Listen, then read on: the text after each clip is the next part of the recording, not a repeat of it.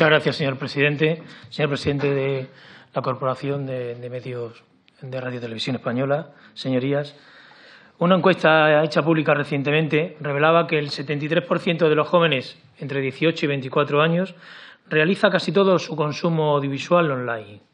La media nacional, según estos mismos datos, es del 58%. Hace tan solo un año estábamos en el 48%. El consumo de la televisión convencional en, directo ha descendido 13 minutos al día en los últimos cuatro años.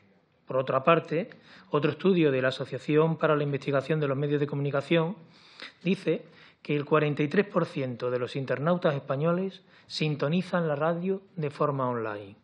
Por encima de todas estas medias están los grupos de edad entre los 14 y los 44 años. Señorías, estamos convencidos que la convergencia digital ha venido para quedarse y para crecer de una forma exponencial, de una manera vertiginosa en la franja de edad de los más jóvenes, pero también de forma imparable en el conjunto de la audiencia. Los hábitos de consumo audiovisual han cambiado mucho.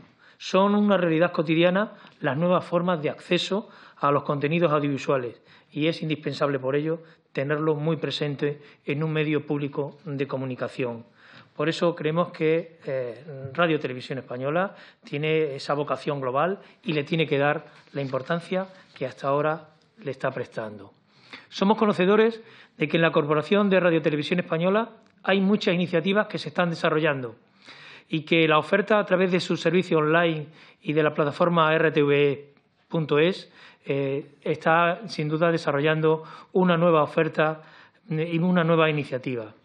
Aplicarse en la estrategia transmedia y en un plan de marketing digital y de comunicación son objetivos prioritarios y permanentes en los tiempos que corren.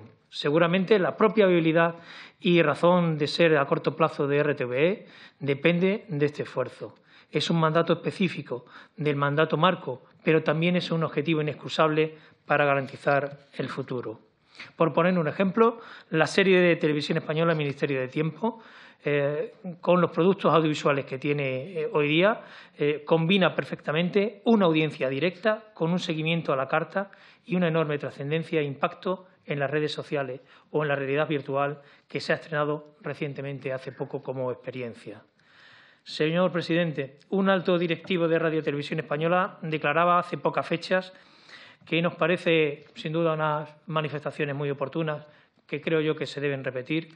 Decía que el valor de los medios públicos en el actual escenario digital es muy significativo porque al estar controlados democráticamente permiten un acceso a la información para todos de forma libre, amplia y sin cortapisas. Es por ello que le formulamos la siguiente pregunta. ¿Qué iniciativas se adoptan para captar el consumo audiovisual online en Radio Televisión Española? Muchas gracias. Muchas gracias, señor León. Tiene la palabra el presidente de la corporación. Gracias, señor presidente. Muchas gracias, señor León. Pues mire, le anuncio que Radio Televisión Española, el próximo día 30, dentro de, un, de unos días, eh, va a lanzar Plaice, este es un espacio totalmente digital en el que el usuario podrá disfrutar de contenidos propios y exclusivos a través de rtve.es, a través de YouTube, de Twitter y de Facebook, y ocasionalmente en la ventana lineal de televisión española, siempre en abierto.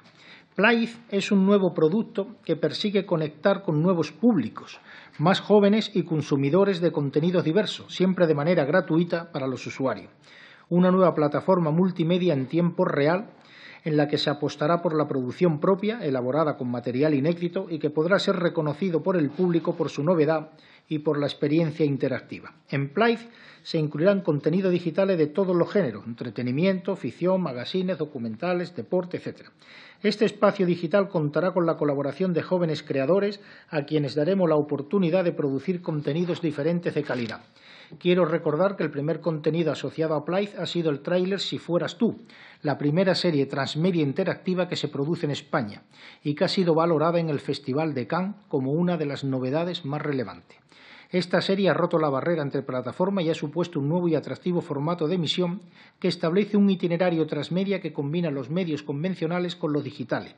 La historia pasa de la pantalla a la vida real de los espectadores, quienes toman las decisiones claves del guion. Hasta la fecha se han emitido los seis primeros capítulos que ha alcanzado el millón de visualizaciones, de los que el 71% corresponden a jóvenes menores de 34 años. Y permítame destacar también que la serie digital de RTV, Si fueras tú, ha lanzado una campaña de concienciación contra el consumo de drogas en colaboración con la FAD, la Fundación de Ayuda contra la, Drogadicción. Una campaña de sensibilización que incluye un vídeo grabado por los actores protagonistas de la serie en el que animan a los jóvenes a no ligar su ocio de forma indisoluble con el consumo de las drogas. Muchas gracias, señor presidente. Muchas gracias, señoría. Muchas gracias, señor presidente. Y, por último, para formular la pregunta con el número 19, en sustitución del senador Goñi Merino, tiene la palabra la senadora Carmen Río Lobos. Muchas gracias, señor presidente.